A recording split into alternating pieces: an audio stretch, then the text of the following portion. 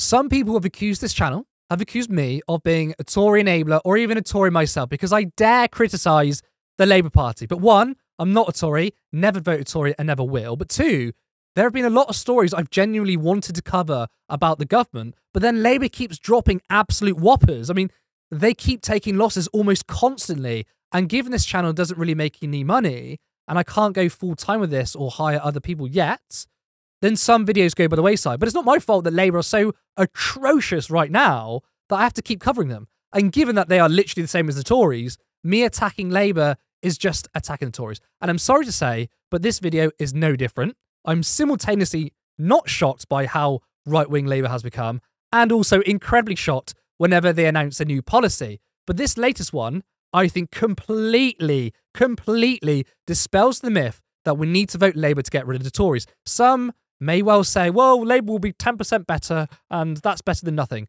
I think that's a load of rubbish.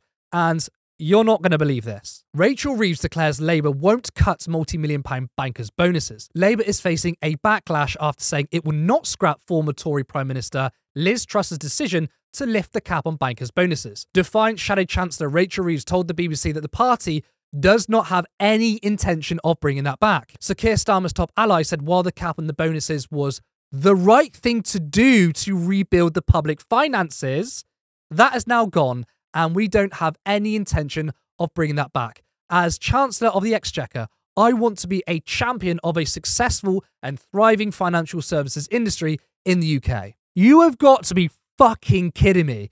Now, there's just so much to unpack there. I, I, I don't know where to start.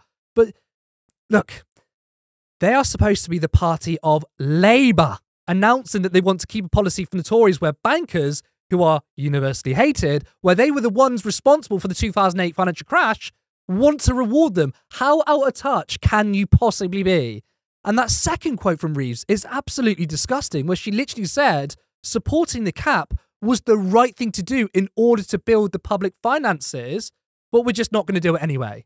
You have made everything within your stupid fiscal rules. You said you wouldn't scrap the two child benefit cap. That could lift hundreds of thousands of children out of poverty because the finances aren't there. We can't promise anything. They just recently announced they've dropped the 28 billion pound green investment policy, despite saying they wouldn't. We all knew they would, um, because well, we need to be within our fiscal rules. So ending poverty and helping save the planet can't be done because of the economy, but allowing bankers to make millions in bonuses, which you literally said the cap would help the finances, you're not going to do. You'd happily ignore the fiscal rules to make the rich richer than to do any kind of good policies that benefit the many.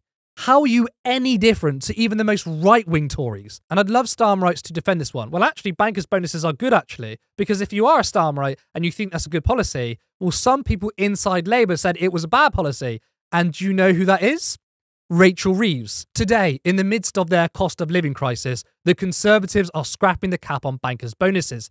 It tells you everything you need to know about this government. And now you are supporting it. It tells us everything we need to know about your shitty Labour Party. Yesterday, I covered the Iceland boss and former Tory donor who's now switched to Labour. And now they're like, oh, we love bankers' bonuses. You are the party of bankers, CEOs, corporations, just like the Tories. You have no moral standing in attacking the government when you won't do anything different. I wonder if Rachel Reeves was living under a rock during 2008. I mean, she said that Labour would champion the success of the financial sector.